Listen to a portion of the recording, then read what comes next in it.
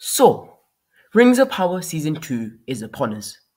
The teaser trailer has just released, and, um, well, it's not gone too well, has it? Because guess what? It's Rings of Power, it's Amazon, so naturally, everyone on the entire internet is either absolutely tearing it to shreds, with a few brave heroes trying arduously to defend it, or very stupid heroes take your pick. Seriously though, the comments underneath the trailer on YouTube are probably actually more interesting than the trailer itself. And no, I am not kidding about that.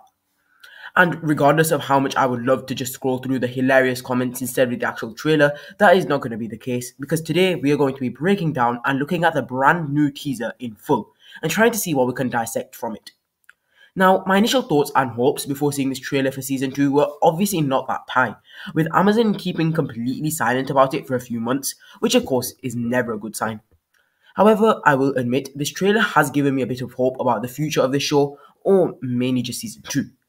While there are a couple of very obvious mess ups and painful mistakes evident in the teaser, it's mainly alright, not too bad, but these mistakes could prove costly.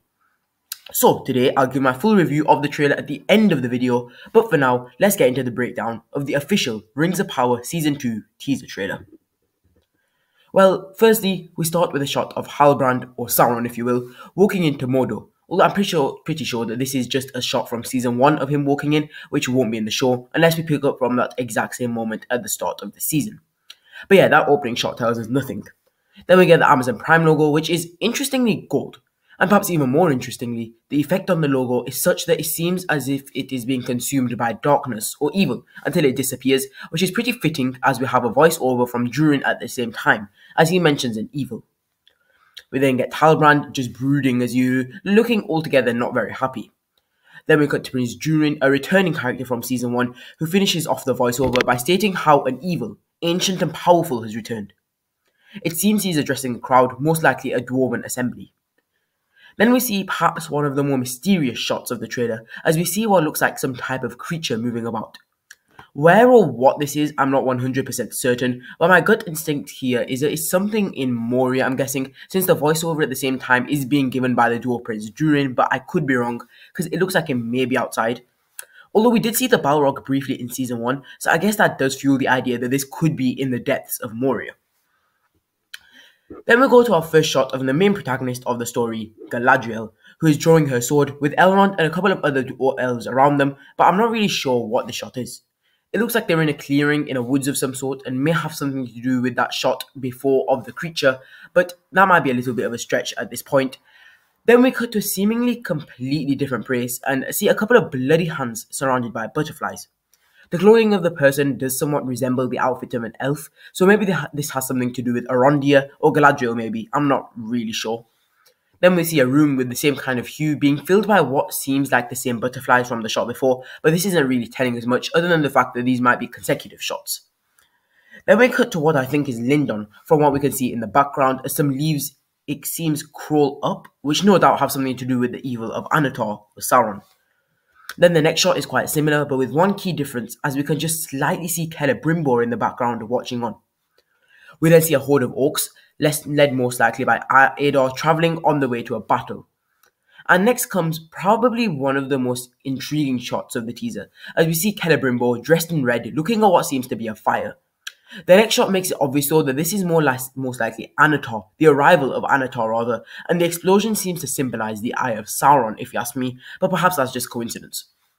Also, if you're not sure who Annatar is, he is basically just Sauron, aka Halbrand from season 1, as Sauron was actually able to shapeshift and he changed his appearance to become an individual called Annatar so he could try and sway the elves during the Second Age, and this seems to be the beginnings of his doing that.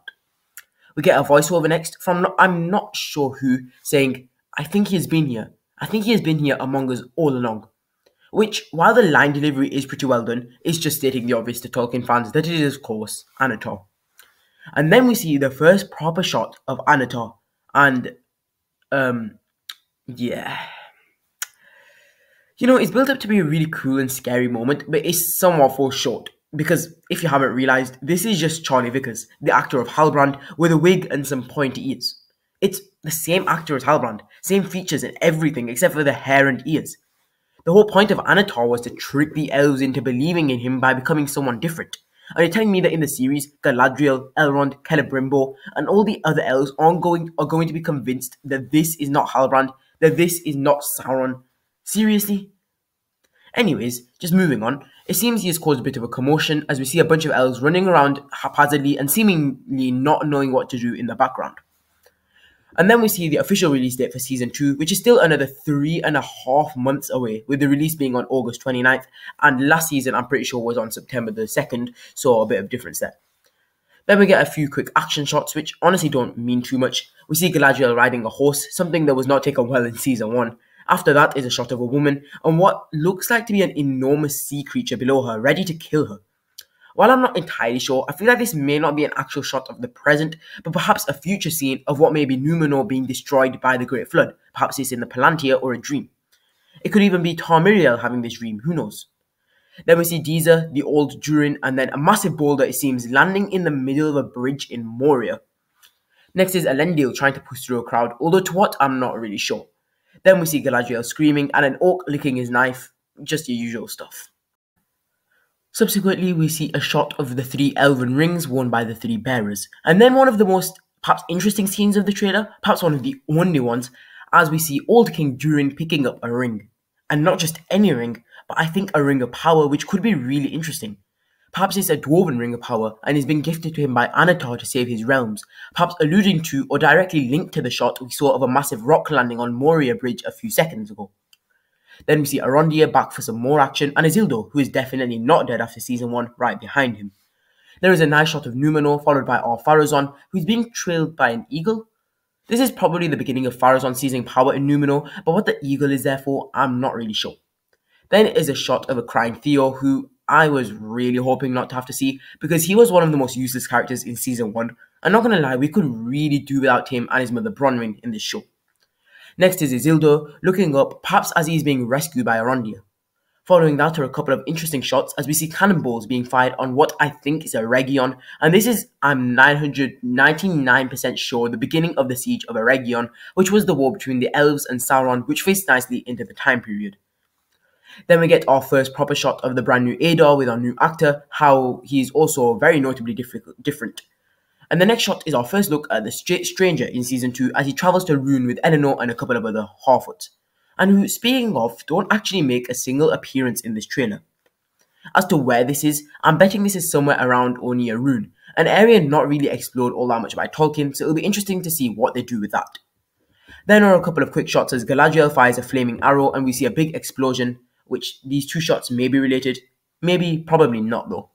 Next, we see Elrond in full armor leading a cavalry charge, which, to be honest, even in the trailer, looks a bit underwhelming compared to how some of the cavalry charges look in The Lord of the Rings. Then is Celebrimbor, who interestingly seems to be chucking rings into a fire. What rings these are is not really confirmed, whether they're some of the minor rings we know were created or something else. But from what I can count, there seem to be more than 10, or so perhaps they are just minor rings. And then finally, as the music reaches a climax, we see Annatar surrounded by elven gods. One thing to note in the shot is actually Celebrimbor in the scene, who looks like he's had a rough time of it, perhaps even fought Annatar, which may be possible, although it's quite unlikely. And finally, we hear Galadriel utter, he is Sauron, at which point we get a close-up of Annatar as he unfolds his hands, and the screen is engulfed in light. And the last shot we get is an interesting one of what looks like a fortress of some kind of guess. But I'm going to be honest, I literally have zero clue what or where it could be. Although even Angmar didn't come around till the third age, it may be a fair guess, considering how much disregard for the lore the writers had last season. But anyways, that is the end of the trailer as we finish with the title, The Lord of the Rings, The Rings of Power, a new season coming on August 29th.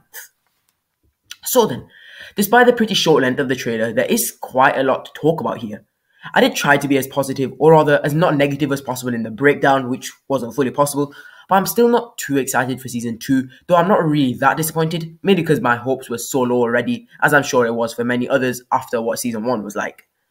There were one or two interesting things, like seeing the Dwarven rings possibly being presented to Durin, and um, I can't think of any actually other interesting moment to be honest. But yeah, I am, I would say, a bit more optimistic going into season 2 than I was into season 1, partly because I feel like Amazon have had a chance to review and fix the mistakes and issues with this season. Although if I'm if they're like anything like Disney, they will probably disregard every single criticism and drive ahead with the same rubbish. And also, if you want to get refreshed on the Rings of Power Season 1, I did a full video series on it, a full 7 part series on how Rings of Power Season 1 was absolutely terrible, and each video was focusing on a different aspect of the show and why it was so bad. So make sure to check that out if you haven't already. In summary, though, I'm not expecting much, but have a sliver of hope, however small it is. But more important than mine, what's your opinion on Rings of Power Season 2 and the future seasons ahead? Make sure to tell me in the comments down below.